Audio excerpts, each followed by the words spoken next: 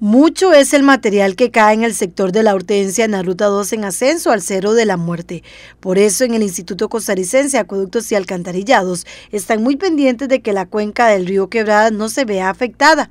Esto porque de aquí nace el agua que permite abastecer a la mayoría de comunidades de los distritos de San Isidro de El General y Daniel Flores en Pérez Celedón por lo que en coordinación con el CONAVI se buscan sitios especiales para colocar el material que se está removiendo. Hemos tenido una coordinación estrecha con CONAVI, hemos tenido comunicación con don Alexander Guerra, en este caso este, precisamente para prevenir cualquier tipo de afectación que vaya a darse en la cuenca del río Quebradas.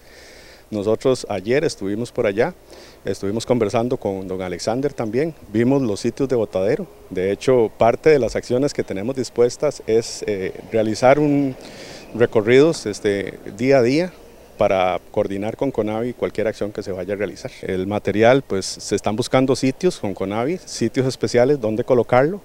Eh, pero igual si hubiera alguna afectación, algún tipo de, deslizamiento que de forma natural llegue a la cuenca, estaríamos preparados nosotros para este, de tomar acciones también operativas que puedan mitigar eh, una afectación en el, en la, en el abastecimiento a la población. ¿Cómo cuáles acciones? Estas acciones, por ejemplo, incluyen eh, el poder habilitar fuentes secundarias que tenemos eh, disponibles en caso de que sea necesario este, limitar un poco el ingreso de, de un material este, cargado de turbiedad hacia la planta y creo que en este caso las fuentes que hay son suficientes para que el, abastecimiento no se vea afectado. ¿Cómo se está haciendo? Básicamente son deslizamientos este, regulares de gran magnitud, eso sí, pero que este, presentan condiciones este, eh, que se están manejando eh, correctamente. En el caso de, de, Conavi, pues tiene ahí coordinación de maquinaria con, con el MOP.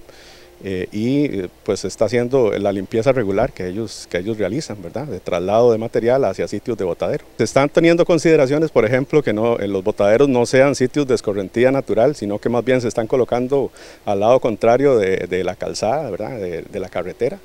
Y este, con estas acciones, pues evitar que, que, el, que por asuntos de deslave eh, vaya paulatinamente yéndose hacia, hacia el río eh, Painer o, alguno de los afluentes. Entonces, eh, de esa manera, por lo menos hasta ahorita, se mantiene totalmente controlado. En el AYA no ven hasta el momento algún peligro para la cuenca. Sí, en realidad la magnitud, tal como la, la, comenta usted, no, no, es, no es como un, peligro que vaya a generarse, porque en realidad el, el deslizamiento este, es una cantidad limitada hasta ahorita, digamos, en, el, en el sentido de que no es como una montaña completa que se está deslizando y que pueda llegar a, cerrar un, cauce de agua, ¿verdad?